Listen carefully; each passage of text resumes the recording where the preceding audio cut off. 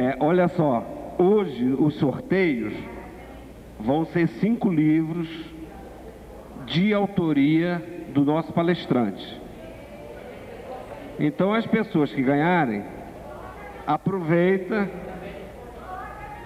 pede autógrafo a ele.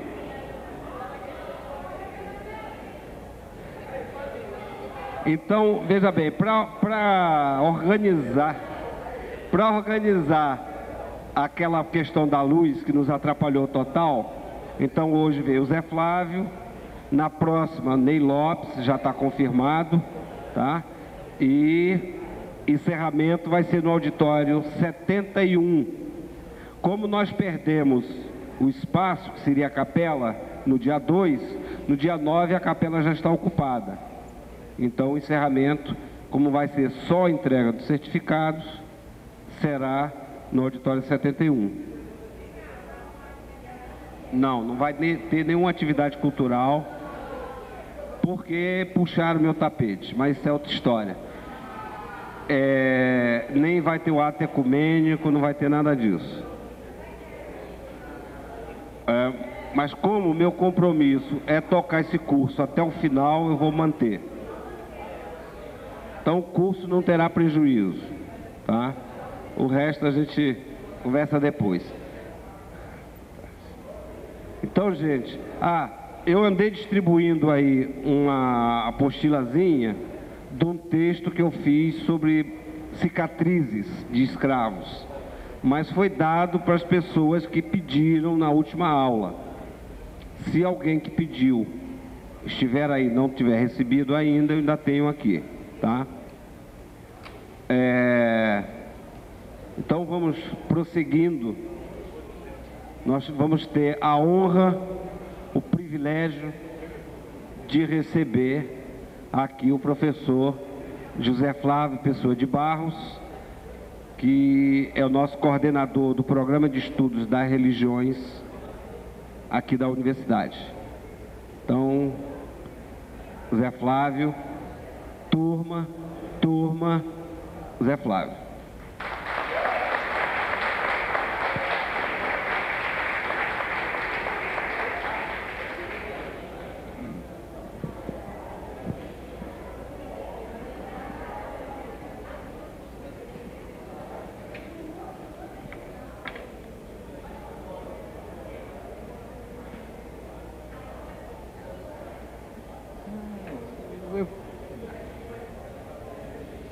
Boa tarde a todos.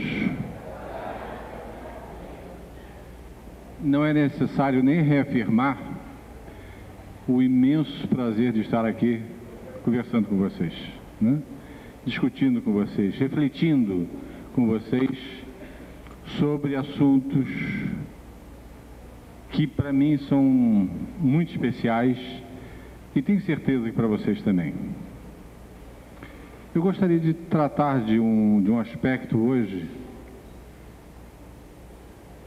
que é fundamental no caso da história brasileira. E até hoje é a história que a escola não conta. Né? É a história subterrânea é uma história desconhecida da maioria das pessoas. Inclusive, é uma sonegação para todos aqueles que são afro-brasileiros. Porque a escola está muito acostumada, a escola, e quando eu digo a escola, a sociedade brasileira da qual a escola é o grande reflexo, ela está muito acostumada justamente a, a ter clichês que eliminam as diferenças. Então, é, essa, essa grande, esse grande poder que foi colocado na sociedade brasileira para subjugar vários, que não é só o negro, o índio também sofre o mesmo processo. O índio, primeiro, ele é genérico. Né? Se fala assim, o índio brasileiro, como se fosse alguma coisa que todo mundo soubesse do que se trata. Não é verdade. As populações indígenas brasileiras são diversas, são centenas, com línguas, cultura diferente. E o mesmo acontece com essa questão do negro brasileiro, que também, nas suas origens, foi diverso. Ele partiu de várias etnias, culturas diferentes. E o Brasil, essa cultura brasileira que ainda está a se formar, teve um peso enorme a questão da influência afro-brasileira. Mas essa história que a história não conta, ela não é uma coisa por esquecimento, não. É profundamente um ato de exclusão social. E eu gostaria de falar um pouco sobre um dos povos que originaram essa multidiversidade, essa pluralidade né, das culturas africanas que chegaram do Brasil. Primeira coisa, tem que me distinguir um pouco eu falava em diversidade justamente por isso. O negro que chega a partir do século XVI, né, ele é oriundo dos grupos bantus. Então é Angola, era Moçambique, era o sul da África, onde predomina a cultura banto.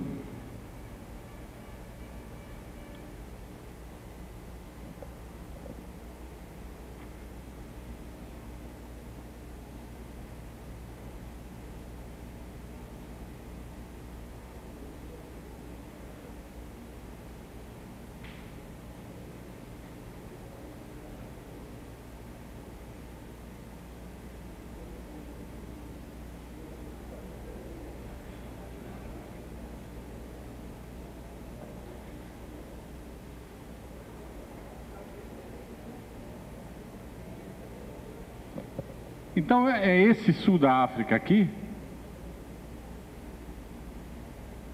que marcou o início da colonização brasileira.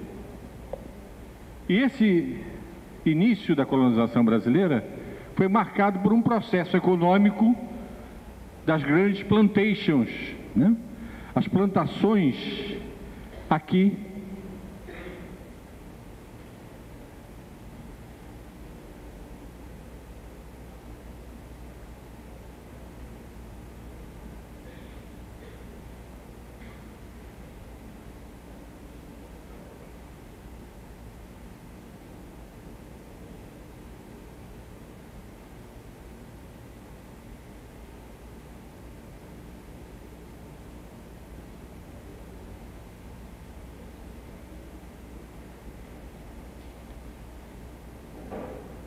no Brasil. Então, é, esse comércio que vinha de Angola, escravagista, né, de Moçambique, etc., ele vinha e até mais ou menos meados do século XVIII eram grupos bantos. O que, que significa isso?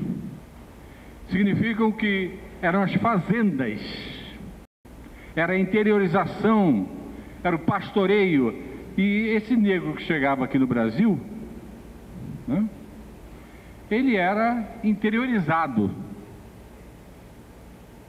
E além de interiorizado, os bantos, só para vocês terem uma ideia, existem mais de 400 etnias bantos, com línguas diferentes. Okay? Então, mesmo quando a gente fala em banto, a diversidade é enorme. E muitos, uma das estratégias era misturar as línguas dos grupos diferentes, para não haver comunicação. Ok? Bem. Mas começou a haver uma grande modificação econômica e política na, na África. Então o português, que dominava essa região, com a luta pela escravidão, final da escravidão com a Inglaterra, etc., mudança do polo econômico, os portugueses vão aqui para África Ocidental, que eles já tinham passado aqui no século XVI. Não ficaram, eles continuaram. Ok? E aí começa no século XVIII né? Uma, uma nova relação com a África, que é esta região aqui, que é a África Ocidental. Nessa época, no Brasil, a mudança é enorme. O Brasil não é mais aquele Brasil basicamente agrário, nas fazendas. Nós vamos encontrar o Brasil dessa época, o Brasil urbano. Salvador era uma cidade incrível. Recife, fantástica. São Luís, São Paulo, Rio de Janeiro, era o Brasil urbano que estava ali presente. Então, esse escravo que chega no Brasil, dessa região, nessa época, vai ser um escravo urbano. E aí a modificação é profunda. Profunda. Na mesma época existia grandes modificações políticas na Europa também. E o Brasil ficou praticamente sem muito do, do, do, ferro do português, do colonizador, porque a Península Ibérica estava ocupada pela Espanha, ok? A Espanha, Felipe II, governava tanto Espanha como Portugal. O que, que aconteceu? Os laços aqui afrouxaram um pouco. E começou um comércio direto Brasil África Ocidental. E uma coisa interessante, né? Muitos dos desses que faziam comércio escravocrata no Brasil eram brasileiros também, ok? Não era só português, não. Mas isso vai modificar muita coisa. Por quê? Imaginem uma grande quantidade de escravos da mesma região, da mesma origem, falando a mesma língua, vai ser uma subversão incrível, maravilhosa, que vai abalar as estruturas da própria escravidão. Então, esse negro que chegava aqui na Bahia, e é uma coisa interessante, porque esses grupos aqui, eles não vão para o Brasil inteiro, não. Eles vão para o Nordeste brasileiro. Ok? Eles vão para Bahia, Alagoas, Sergipe, Maranhão, Rio Grande do Norte, Nordeste. Então, é uma segunda concentração. Ok? E esses grupos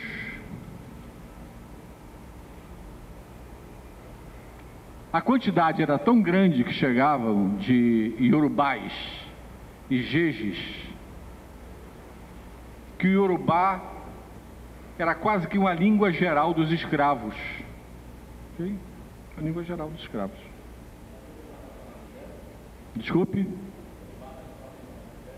Fala alto, eu realmente não ouvi. Yorubá, Nigéria. Eu não vou chegar lá, vou chegar lá. Eu só estou falando por enquanto com vocês em África Ocidental, dizendo que tinha a África Meridional, que era Banto, e uma África Ocidental que não era Banto. Aqui era século XVI, século XVII, meados do século XVIII. Aqui, final do século XVIII, começam a vir Yorubais e Jejes dessa região, África Ocidental. Vamos pegar isso aqui agora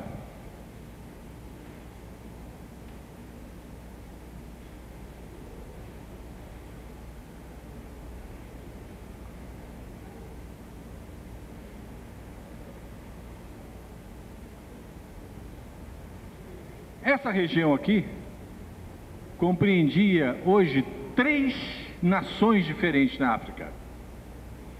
Você tinha a Nigéria, o Benin, o Togo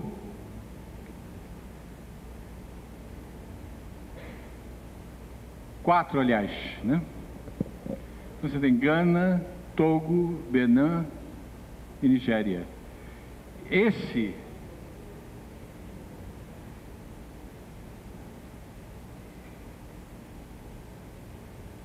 era o antigo reino.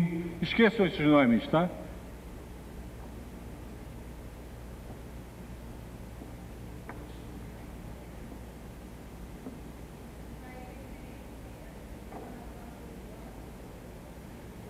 Então isso aqui era o antigo reino Yorubá e o reino do Benã.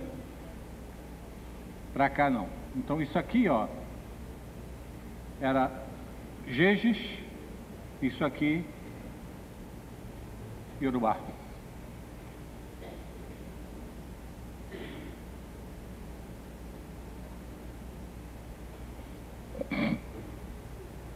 O que que acontecia? esse imenso reinado. Porque uma outra grande sonegação cultural era fazer pensar, por exemplo, que o, os negros que chegavam né, usavam lanças, arco e flecha e um aro no nariz. Isso é falso, completamente falso. Existiam, na verdade, reinos, cidades importantes. Só para vocês terem uma ideia, uma das cidades daqui, chamada Catunda, na época, século, estou falando do século XVI, Martim Afonso de Souza escreve para o rei de Portugal e diz assim: Catunda é uma cidade bela, bem projetada, com arquitetura extremamente interessante, ruas bem feitas, esgotos, e é tão bonita quanto Marseille, na França. Interessante isso. Século XVI, hein? É por isso que eu brinco que é a história que a escola não, não reconhece, não conta para nós brasileiros.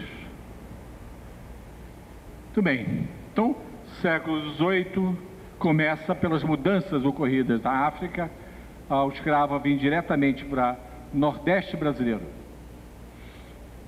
E o que, que acontecia aqui no Reino Yorubá?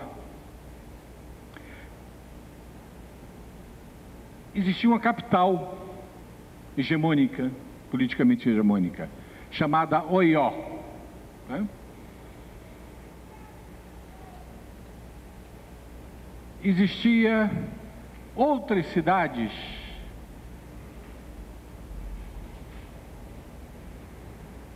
que estavam afinadas e participavam desse reinado. Cada uma dessas cidades tinha um patrono, um, um rei mítico na qual ele relacionava suas origens. Na cidade, por exemplo, de Irê, esse rei mítico chamava-se Ogum. Na cidade de Irá, chamava-se Oiá. Na cidade de Leifé, o Dudua e a Xalufã. Em Elegibô, o Guiã. Em Jexá, Oxum. Aí a gente começa a tornar algumas coisas familiares, né? A gente começa a entender algumas coisas, né?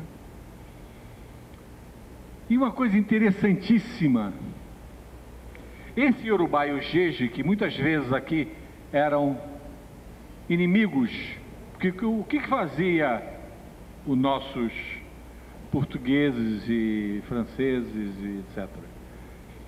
Especialmente o português. Ele pegava armamentos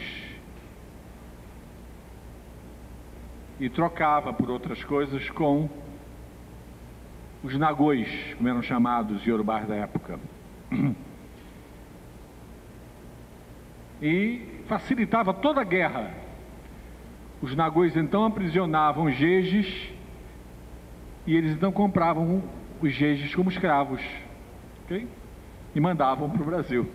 Ou então para a América. Aí ele ia para os jejes, armava os jejes, e os jejes iam, lutavam contra os nagôs, aprisionavam e vendiam para eles que mandavam para as Américas. Então era um jogo o tempo inteiro e reforçava as divergências, reforçava as diferenças e acirrava os conflitos. E é interessante, né? Tanto Jejes quanto Yorubais, os Nagôs, também chamados de Lucumis, na época as cartas falam em Lucumi. Né? Eles vieram para aqui, mas eles também vieram para aqui, ó. Cuba, Haiti, São Domingos, né? Estados Unidos, tudo nessa época. É por isso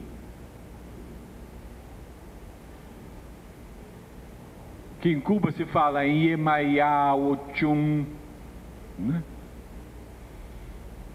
Babaluayê e etc, etc, etc. Porque são os mesmos grupos. Tudo bem.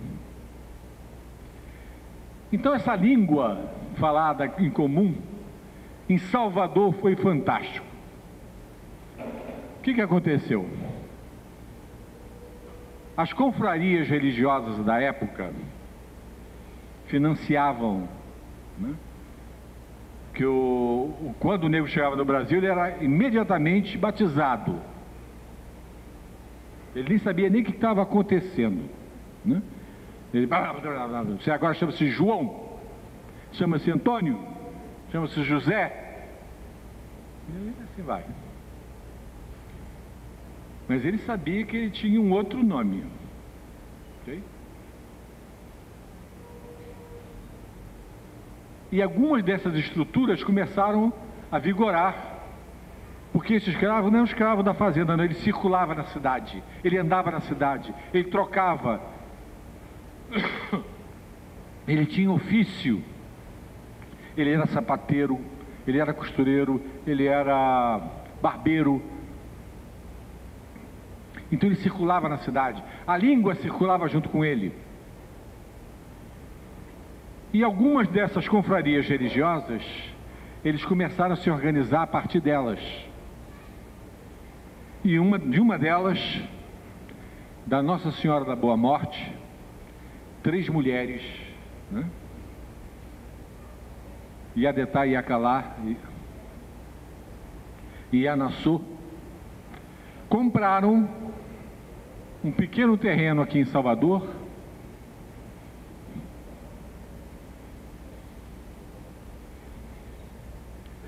Num lugar chamado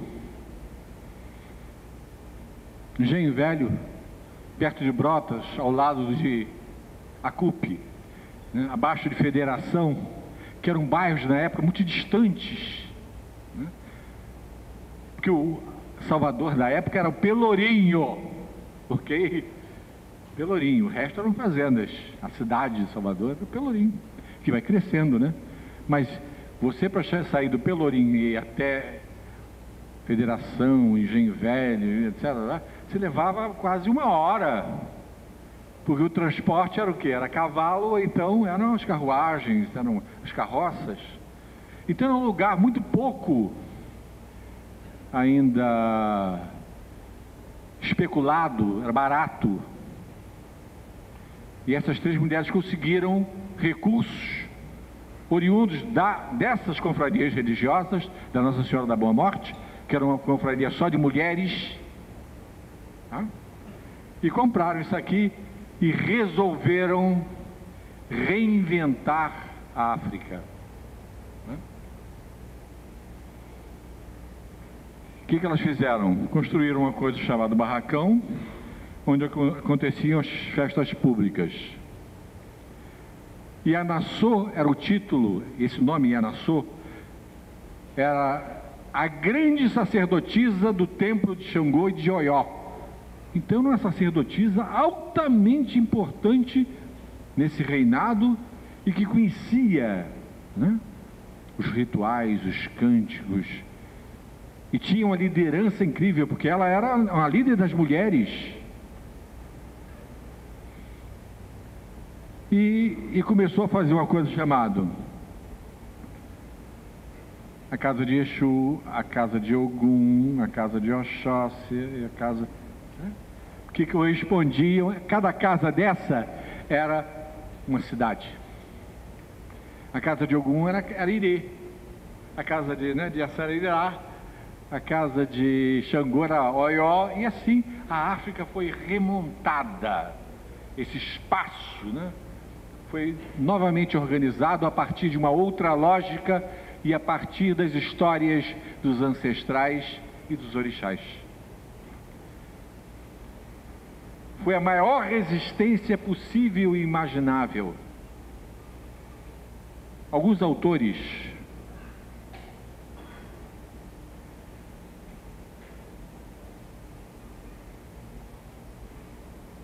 Agora, Europa e Estados Unidos estavam trabalhando muito com uma coisa chamada memória, que eu trabalho também. E essa memória, ela tem que ter uma base espacial.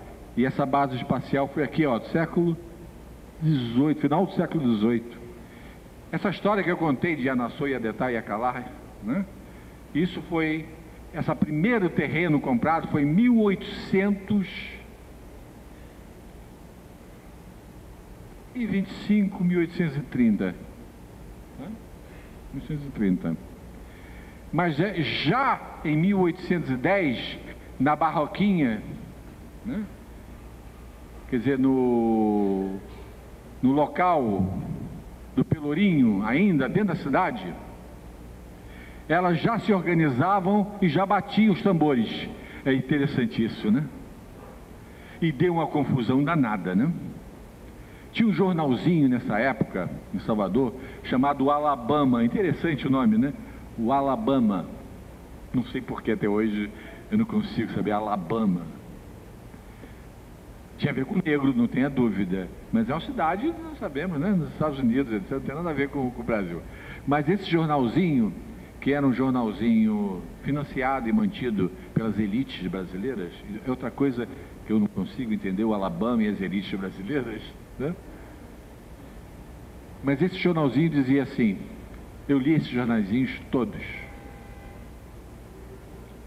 E eu não me esqueço de um que dizia assim: Senhor chefe de polícia, será que o senhor está surdo? Como é que nas segundas-feiras, às vezes terças, outras vezes quarta, tocam os tambores e o senhor não ouve? Como é que o senhor deixa expostas as famílias de tradição e serem incomodadas com esses tambores e cânticos negros? Eu acho que o vice-rei tem que saber disso. Não ameaça. Um outro artigozinho dizia assim,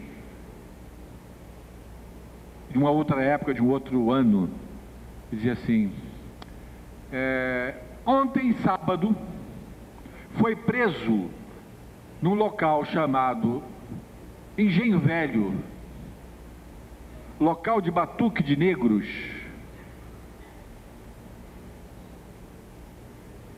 Um negro chamado fulano de tal, uma negra chamada fulano de tal, e dava o nome do pessoal todo que foi preso.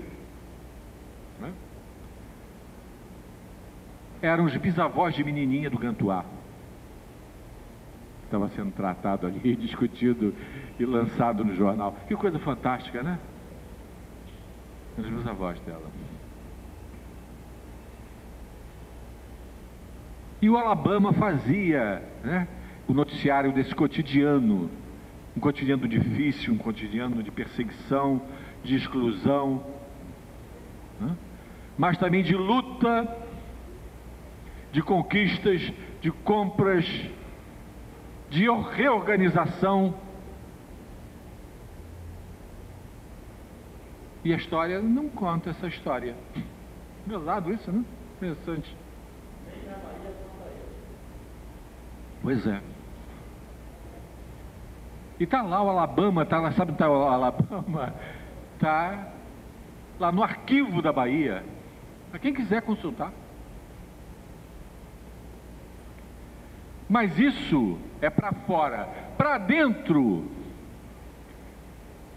a maior forma de luta que esses autores que trabalham com memória, que eu me referi agora há pouco, falavam, era você não deixar esquecer não perder a memória. E foi isso que esses grupos fizeram. Foi isso que essas três mulheres organizaram. Iadetá, Iacalá e Ianaçu. Iá quer dizer mãe, tá? Eram as três mães. Escrevo.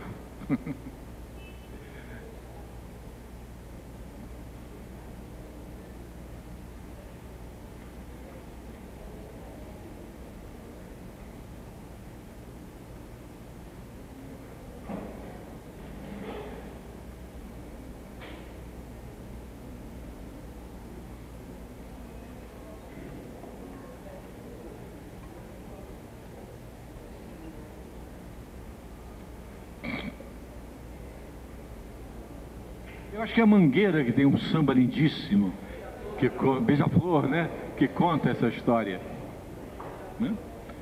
Das três mulheres. Mas essas três mulheres, essas casas que, que representavam, né, cada uma dessas cidades, as festas lembravam os rituais, os cânticos, as orações, as iniciações. Então, todos aqueles que são iniciados de algum, se descendem, né? Pelo menos ideologicamente daquela cidade, fazem uma festa chamada Festa de Ogum, mesmo as festas de Xangô, a festa das Iabás, e assim vai, que é a lembrança, que é novamente, é trazer esses deuses, essas essa maneira de pensar, de viver diferente para o Brasil. Eu me lembro de uma senhora com 98 anos, é Ked do Gen Velho. Aí um dia ela chama, eu tinha uma relação com ela maravilhosa. Meu pai era o GAN dessa casa. Então eu muitas vezes subi nas árvores sagradas ainda garoto. Eu, eu vivenciei muito dessa, dessa coisa fantástica. E ela um dia me chamou e disse assim: Vou te contar uma história. Aí eu comecei a entender as coisas com essa história que ela me contou. Ela disse assim: Um dia, era uma vez, então ela instaurou o mito né? Esse Era Uma Vez é fantástico, porque ele instaura né, a história mítica. É, uma vez, né, um guerreiro, um guerreiro africano, e ele chegou na aldeia dele e não viu as pessoas, então ele perguntou: onde é que estão as pessoas? Onde é que está meu povo?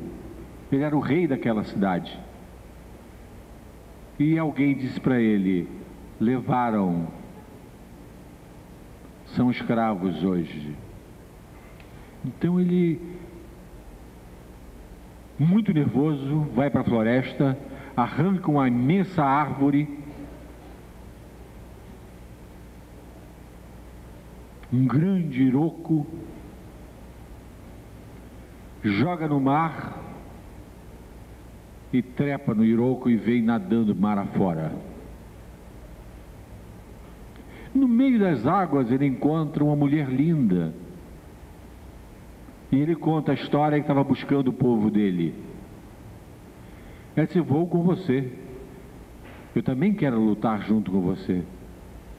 E chamava-se Emanjá Ogunté. E os dois vieram conversando sobre as estratégias. E quando chegaram em Salvador, eram três que tinham nascido Ogunjá. Quer dizer, três guerreiros que vieram para Salvador para libertar o seu povo. Que coisa maravilhosa, gente. Como é que esse mito restaura a dignidade, né? E como é que esses deuses vindo para o Brasil dão uma nova dimensão na luta social? Né? Mas a memória é isso, é contar para o outro as histórias, os cânticos, os lugares sagrados, as ervas as orações, e as pessoas fazem isso coletivamente. É essa a maneira de não esquecer as suas origens, de não esquecer os seus ancestrais, de continuar sendo africano no Brasil, virar afrodescendente. Não pela cor, mas pela cabeça. Eu acho que essa metáfora dizer fazer a cabeça quer dizer muito mais coisa do que vocês estão pensando, hein?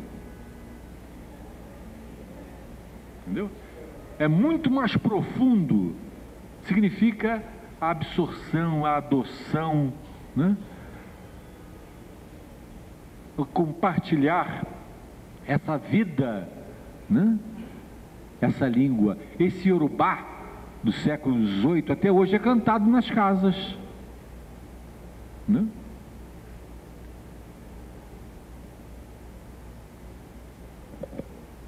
Cadê o nosso. Vamos ouvir algumas dessas canções que falam da memória, né? E que contam a história. Já está com ele contam essa história outra vez. Né? Será que eu esqueci os óculos? Não, senão vai ser uma tragédia.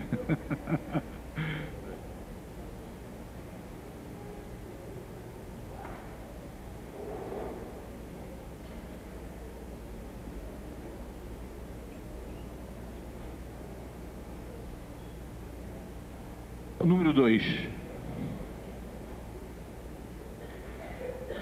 tambores anunciavam as festas.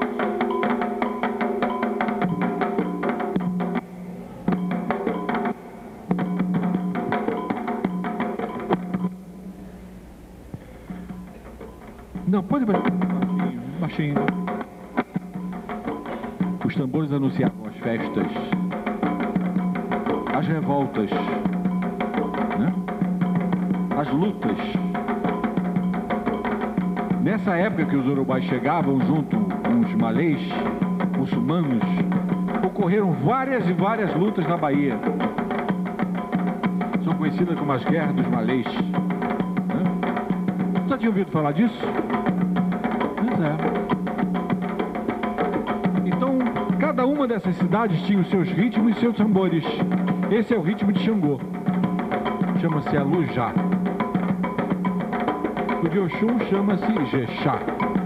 São 18 ritmos diferentes, executados por músicos fantásticos, com pauta musical, com letra, e que falam da memória dessas populações. Tem mais ritmo de Xangô, viu? Mas senão a gente só vai embora daqui amanhã. Um deles é esse.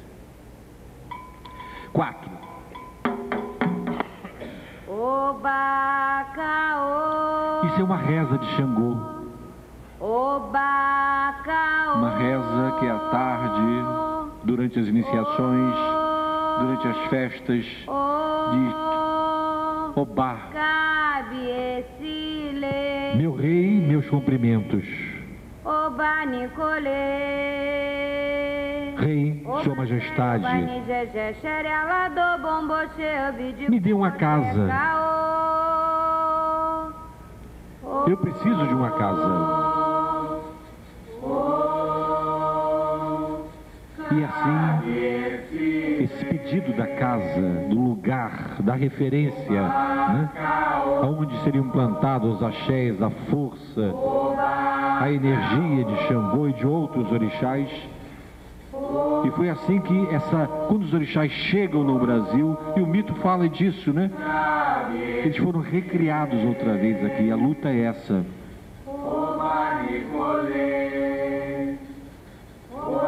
Isso é uma reza.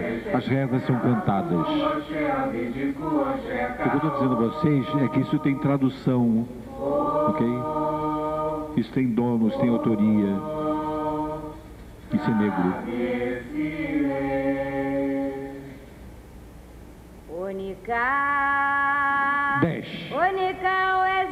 Isso são rezas maravilhosas, lindíssimas.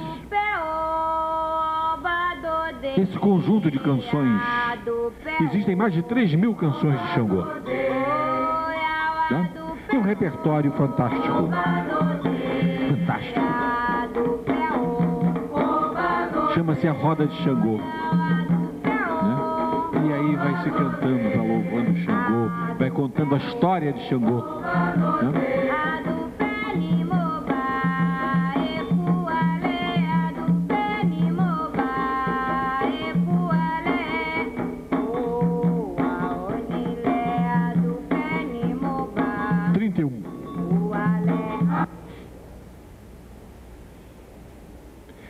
Começa uma coisa interessantíssima. Os nomes dos antigos reis começam a ser lembrados. Cairá é Xangô. É um momento de reverenciar os antigos reis. 34.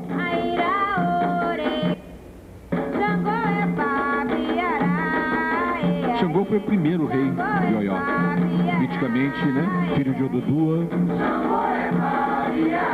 E essa cantiga fala dessa, dessa história. 36. Outro rei. Baru. 37. Ajacá, outro rei. Que coisa fantástica, né? É a memória da África contada e cantada no Brasil. 41. Aganju, outro rei. E assim, vamos lembrando cada um deles os seus feitos, as suas guerras, a sua organização, a sua história, os seus ministros as suas sociedades secretas.